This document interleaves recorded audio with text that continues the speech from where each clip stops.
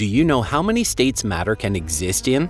If you've ever taken a physics class in school, you probably answered right away solid, liquid, and gas. And if you were a straight A student, you might have confidently shouted plasma too. But to really ace today's lesson, that answer's just not going to cut it. Hey there, everyone! That's right, it's actually not as simple as you might think. Under extreme conditions, even the most familiar elements can take on properties so strange they almost feel like magic. So what kind of state are we even talking about here? Welcome to our channel. Stick with us and by the end, you'll understand it all. Alright, let's dive in.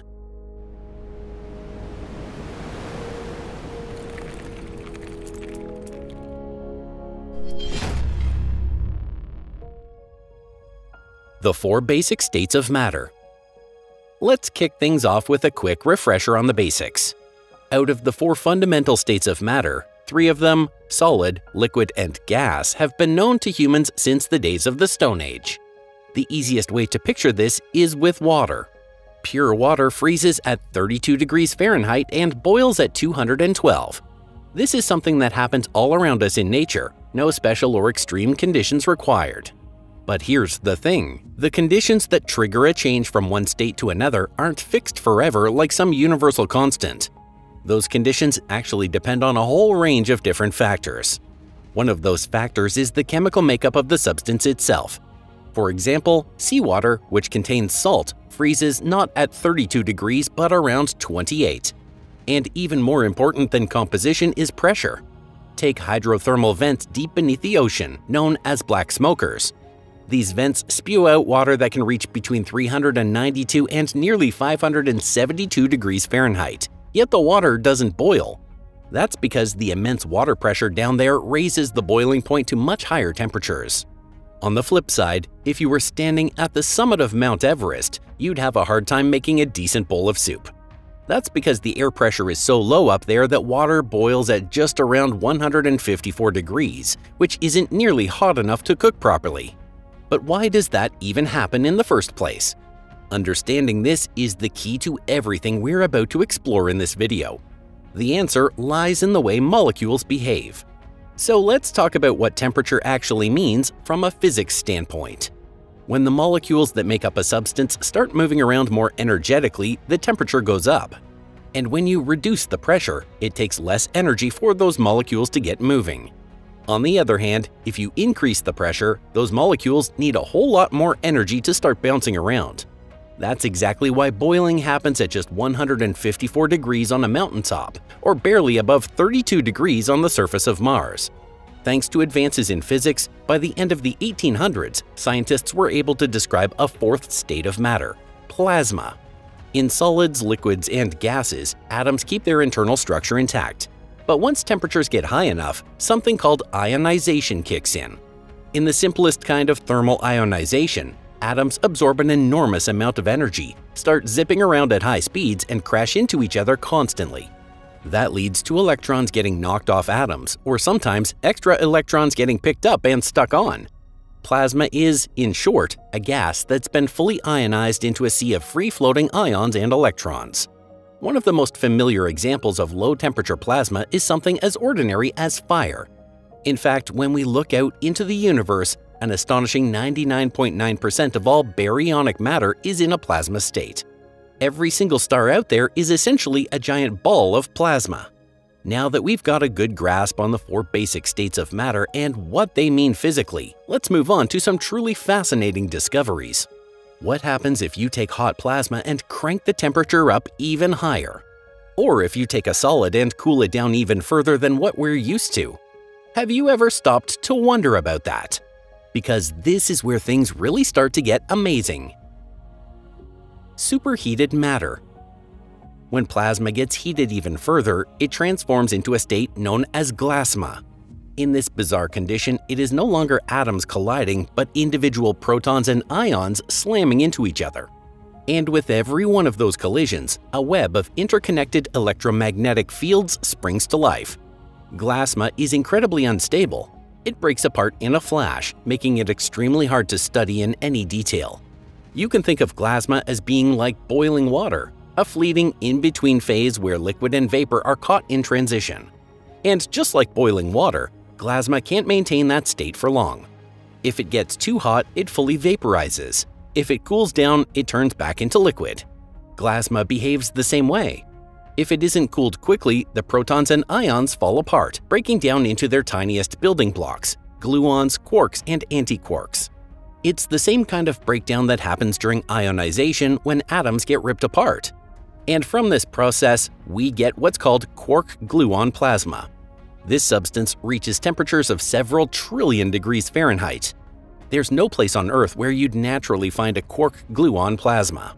In fact, the same goes for nearly all of the observable universe. Even deep inside the Sun, the temperature isn't high enough for matter to fall apart to this extent.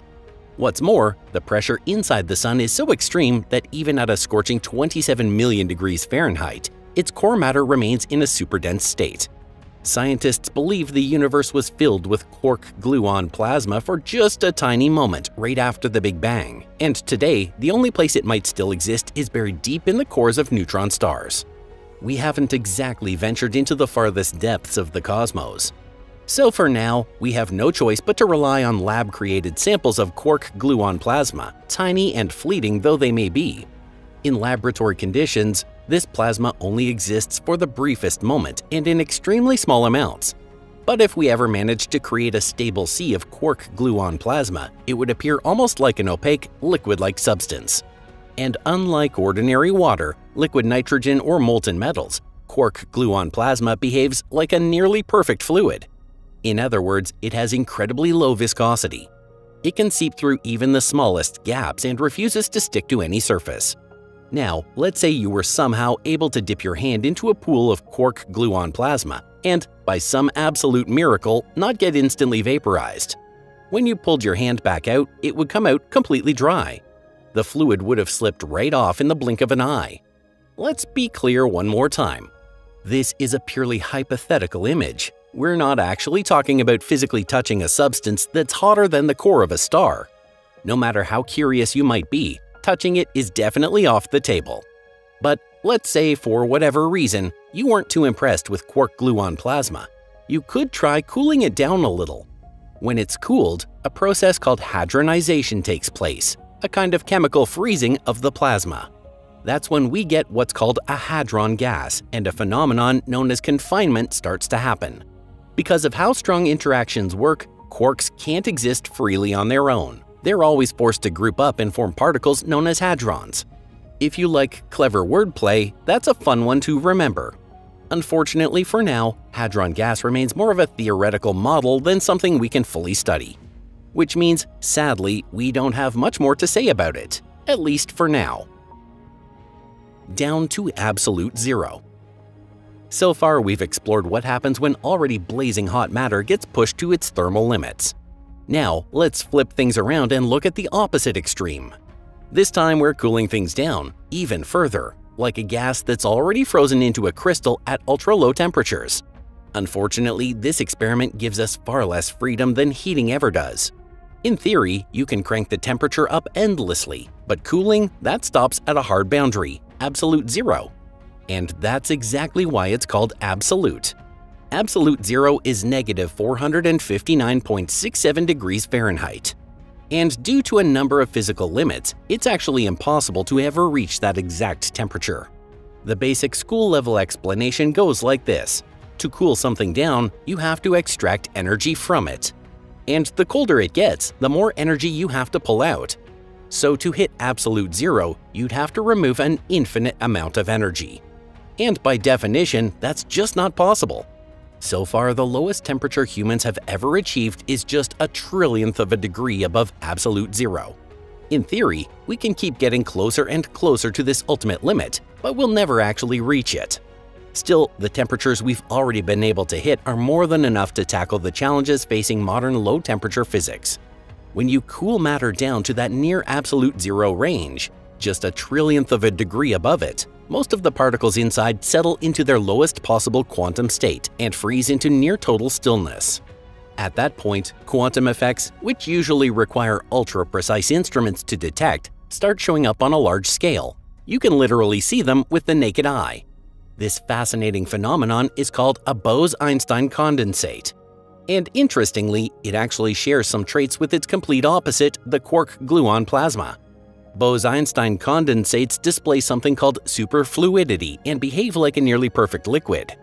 That means this fluid can climb up the sides of narrow tubes, glide across surfaces without any friction, and spread instantly in every direction. Matter chilled to this extreme has another incredible trait – superconductivity. That's the ability to let electric current flow with zero resistance. These properties unlock all kinds of exciting possibilities and could even pave the way for science fiction level tech like flying cars. Unfortunately, though, we're still very limited in how we can use them in real life. That's because keeping things cold enough to maintain these states burns through a massive amount of energy. And beyond that, there are still a few other strange states of matter we didn't have time to explore today. Most of those only exist on paper, as theoretical predictions or calculations by scientists. But if you're curious, we'd love to dive into those in a future episode. If you enjoyed this video, give it a thumbs up and share it with your friends. Thanks so much for watching.